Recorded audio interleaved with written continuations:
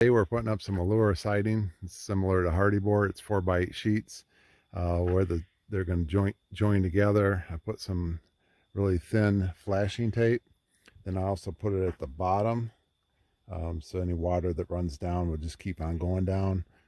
Put some flashing around the door and then over here there's white silicone that's paintable. It's uh, about 600% stretch they say so it'll expand and contract and behind that is the flashing tape that's over here.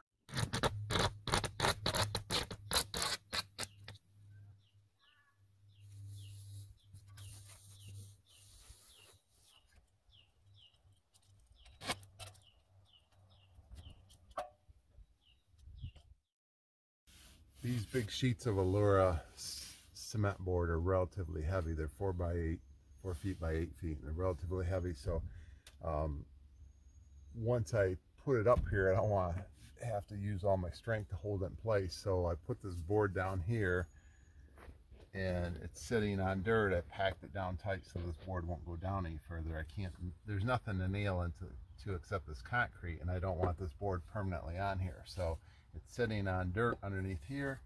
And down here I drove this 2x4 into the dirt down there, pulled it up, put dirt in the hole, drove it back down, did that a couple times to make sure deep down in there is nice and compacted. So when I put something up here on this board, it didn't sink in the dirt more. So I made sure it was nice and compacted tight there. And once I got it there, I took this board, pulled it up to the right height and put a screw in there. And then this board here is to keep it from falling away this way. So then when I put this next heavy piece on, uh, it'll just rest here and I can hold it with the palm, palm of my hand without putting a lot of strain on myself. And it'll just be easy to, put it here and nail it without wrestling with it and making it quite difficult. So I just try to do things to make them easy and simple without straining myself.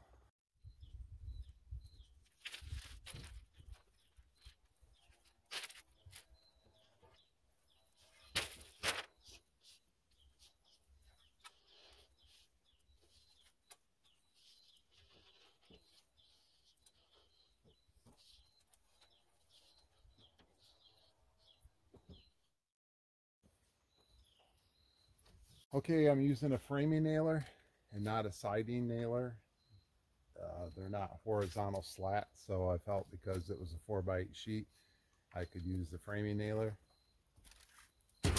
Use, use small nails, so they're not big diameter.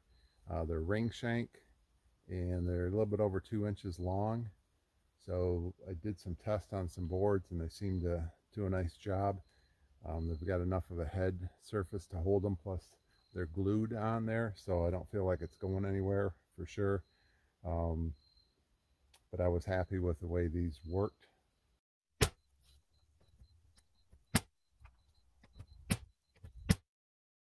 Got the uh, flashing going in between the two plus it's siliconed right next to the edge.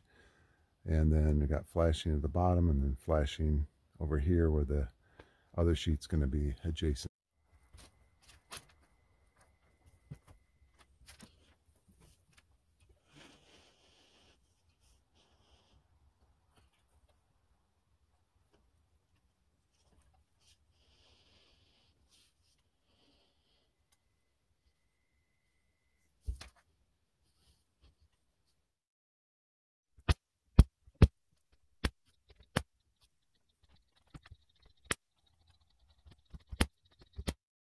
This is one of those ladders that has a deal where you can pull these pins out and allows it either slide down or in this case slide up so you can work on a hill.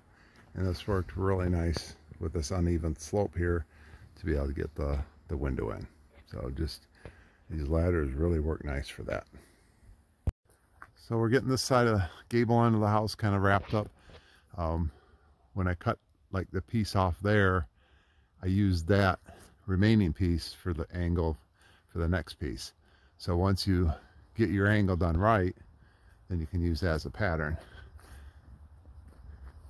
The tricky one was the one above this window because it's one piece and I had to cut that angle and that angle. Um, so I made sure I took a piece here and put up there for a pattern and then found another piece that matched that angle because believe it or not this roof angle and this one are just a little bit off. I mean it's not much but it's just it is off. And it's just the way houses are. They're not they're not 100% straight. That's the way wood is.